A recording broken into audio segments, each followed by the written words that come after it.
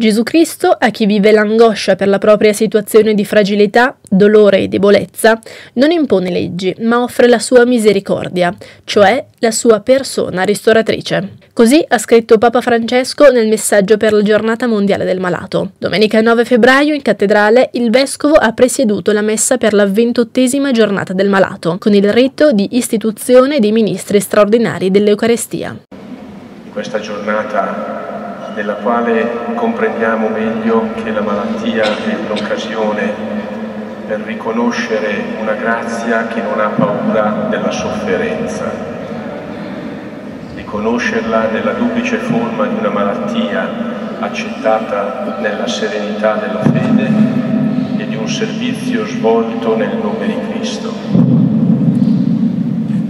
Sono felice di celebrare con voi questa Eucaristia in particolare con i nostri fratelli e le nostre sorelle che fanno sul, del proprio corpo l'esperienza della malattia particolarmente intensa.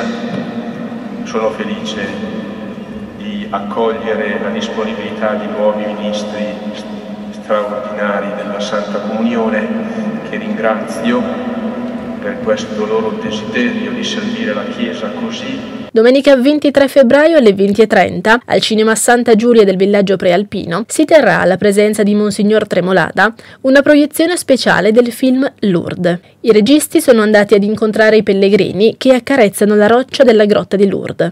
Hanno ripreso Lourdes come un grande teatro antropologico dove si intersecano storie struggenti.